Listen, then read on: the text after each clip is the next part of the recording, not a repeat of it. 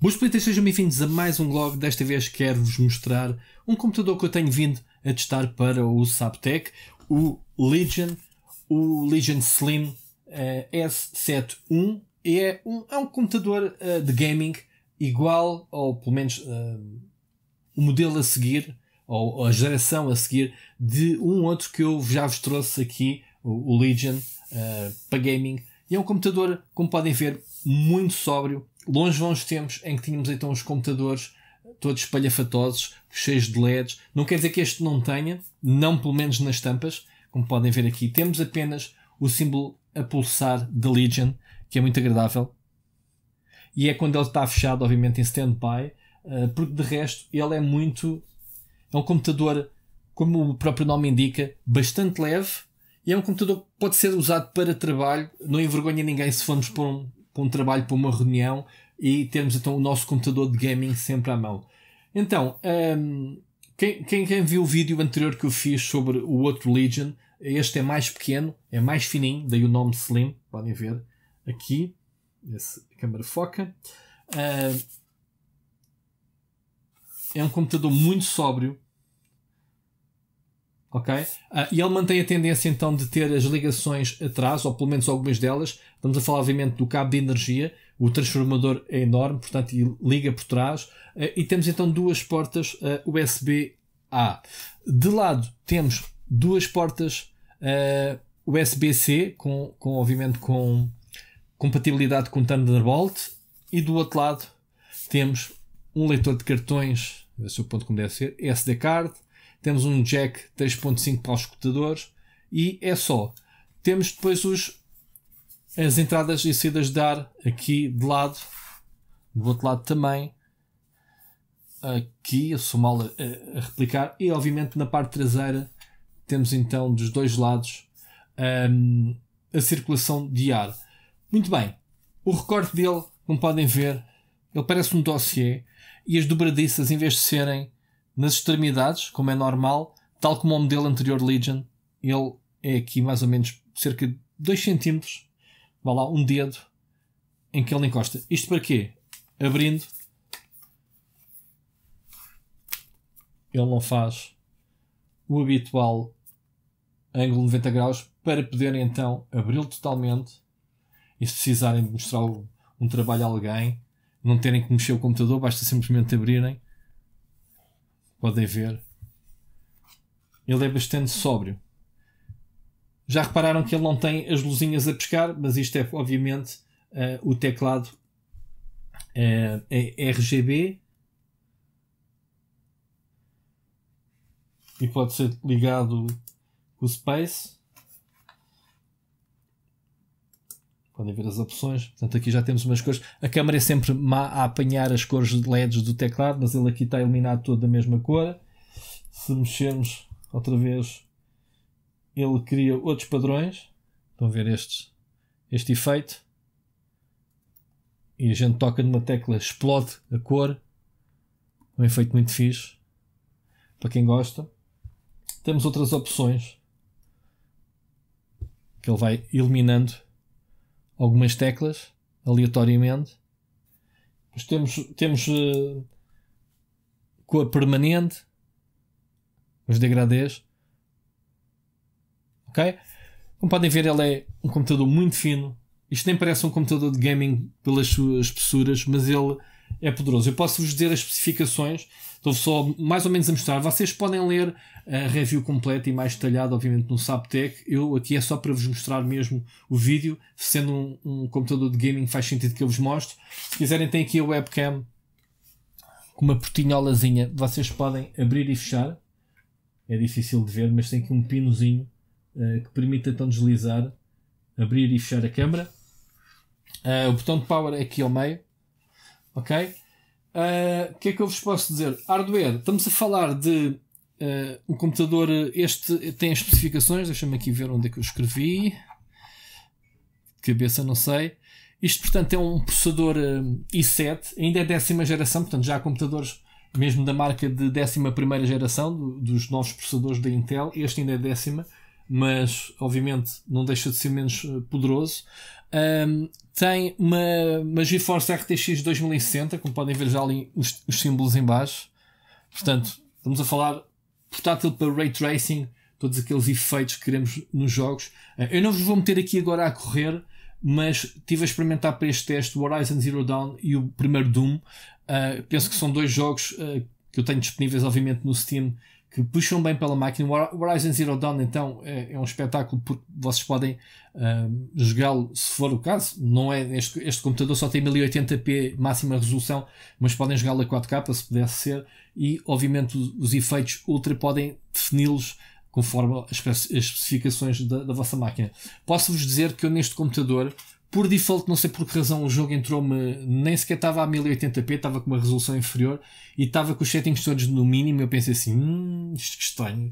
Mas pronto, é o jogo que lhe deu uma caquice. Eu meti tudo em ultra, meti a resolução no máximo e o jogo até voou. Funciona muito bem neste computador. Um, mesmo o Doom, então, efeitos que eu nunca tinha visto de reflexos de, de partículas uh, e, e, profundidade, digamos assim, para um jogo na primeira pessoa, funcionou muito bem neste portátil. Ok? Estava então a dizer que tem a GeForce RTX 2060 com Max Q. Uh, ok? Tem 6 GB de memória uh, dedicada de DDR6 e tem, já agora, podem ver pelo, pelo ecrã, as molduras são muito fininhas que é uma vantagem destes computadores uh, mais recentes. Todas as marcas estão a apostar muito em molduras muito finas. O que é que, que, é que significa? Que em relação ao chassis consegue-se ter um monitor com uma área maior. Ou seja, vocês para terem uma ideia, este monitor tem uh, 15,6 15, polegadas, o que é fixe, é quase 6, 16 polegadas por, por monitor. Uh, lembrando que este, que este uh, display tem 144 Hz de, de refresh, portanto é bastante funcional. Tomara nós, na, nas novas consolas, termos um, um ecrã, os nossos monitores com 120 Hz para podermos jogar a, a 120 FPS. Estão a ver a diferença? Pronto, é um computador gaming, obviamente, um, com todas as especificações máximo. Já agora tem 16 GB de RAM DDR4, 16 GB, portanto está no sweet point, digamos assim, e tem, uh, neste caso em concreto, esta máquina, 1 TB de SSD uh, NVE, ok? Estava-vos eu a dizer então que os jogos que eu testei funcionaram perfeitamente bem. Estou com um computador bastante rápido. É muito leve. Vocês estão a ver que eu estou a fazer esta apresentação toda. Se fosse com outro computador, eu não iria conseguir fazer esta, esta pequena apresentação uh, com o computador na mão. E ele é estupidamente leve, ele pesa. Eu, eu fui pesá-lo na Bimbi, eu costumo sempre pesar os portáteis, tenho sempre esta de tentar perceber. E, e este computador pesa 1,850 kg, portanto não chega a 2 kg, enquanto que o Legion tinha 2,5 kg. Portanto, faz a diferença. Esse meio quilo, obviamente, faz diferença se vocês andarem com o computador de um lado para o outro. Este pode ser enfiado perfeitamente na, na mala e ir. Um, tem as colunas de lado, tem um bom som, o computador. Uh, tem o som que sai aqui por baixo, de lado, mas uh, na, na, parte inclinada. E tem esta grelha toda também uh, do som. Tem parafusos normais, se precisarem substituir RAM ou substituírem disco, é a tendência também dos computadores. Vamos ver, o design dele é bastante sóbrio, finíssimo. Quem diria que isto é um computador? Tem um senão, uh, algo que eu, que eu anotei. Uh, este computador faz muito barulho em termos de ventoinhas. Uh, se vocês estiverem a jogar, é quase impossível termos aqui processador topo de gama, placa gráfica topo de gama, muita memória, jogos a, a, a correrem 1080 com settings em ultra e, e termos que eles calem. Não pode ser. Os computadores precisam de respirar. As ventoinhas começam a turbinar e isto sai para aqui calor até dizer chega dos lados uh, dos lados e para trás. Portanto, convém terem uma área à vossa volta livre, porque senão vão derreter qualquer coisa mais sensível, ou pelo menos vão, vão danificar qualquer coisa. Não convém, obviamente.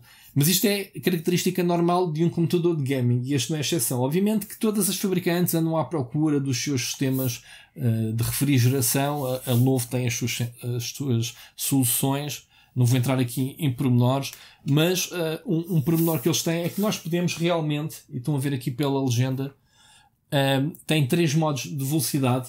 tem uh, o turbo, digamos, quando estão a jogar precisam mesmo ter isto a turbinar, mas se precisarem de repente de que ele faça pouco barulho, podem comutar rapidamente e obviamente ele reduz, torna-se quase silencioso, é, é de facto, mas depois continuarem a jogar vão ver que ele vai começar a aquecer mais, obviamente, não vai queimar, óbvio, mas o, o jogo vai começar a patinar. Isso não, não há qualquer dúvida, senão nem era preciso estarmos aqui com um regulador de máxima potência ou mínima potência, ele deixava-se estar quieto. Podem estar, obviamente, na terceira posição, como eu disse, duas, uh, tudo turbinado, modo poupança e modo automático que ele detecta. Conforme vão jogando, ele começa a puxar pela máquina, começa a aquecer, ele começa a ligar as turbinas, mas ele faz muito barulho. Eu poderia estar aqui a, a, correr o jogo, mas obviamente tinha que estar a ligar o cabo, porque jogar videojogos em ultra sem bateria é, além da performance não ser obviamente uh, a ideal, uh, vai drenar a bateria em muito pouco tempo. Esta bateria,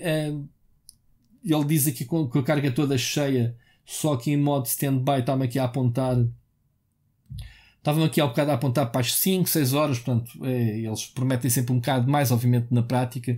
Isto é um computador, eh, sei lá, para estar eh, meia dúzia de horas no máximo a verem vídeos. Obviamente, a jogarem em modo bateria, pá, se calhar não vão ter bateria para mais de duas horas, hora e meia, duas, já é pedir muito, e não vão desfrutar o jogo. Eu não aconselho, obviamente, a jogar num portátil sem, sem estar ligado à corrente jogos, a não ser que seja aqueles jogos mais básicos, possam estar a jogar numa viagem. Agora, um jogo AAA, como, como foi os exemplos que eu dei, a jogar em modo bateria, é, é é, digamos assim. E pronto, malta, isto é uma apresentação muito, muito básica. Vocês podem ver, obviamente, todos os detalhes, então, como eu disse, na, na review que eu fiz para o, Tech. Uh, entre lá mais detalhes, obviamente não possam estar aqui a passar, mas obviamente que isto é só mesmo para vos mostrar em primeiro lugar o design, falar-vos aqui um bocado das características e obviamente um bocado de já agora não deixa de dadas, que é uma coisa importante nas tampas, quer dizer, nota-se sempre qualquer coisa, mas não, não se notam as impressões digitais, passando outra vez a mão desaparece, não se nota assim quase nada. É um, é um preto, um, um plástico rígido, é um plástico preto que eles têm utilizado na, nas suas máquinas. E pronto. Malta, digam o que é que acharam deste, deste Legion, neste Slim uh, 7i. Uh, 7i porque é Intel, a designação I nos computadores da, da Lenovo referem-se se têm processadores Intel ou AMD e o I refere-se sempre aos computadores com Intel. Ok? E pronto, digam nos comentários. Estou-vos aqui só mostrar partes do, do, do, do computador. Digam nos comentários o que é que vocês acharam desta máquina, se alguém já experimentou esta, esta versão em concreto, o que é que acharam. Um, deixem um like para apoiar este vídeo, obrigado, obrigado por assistirem e vemos no próximo. Um grande abraço.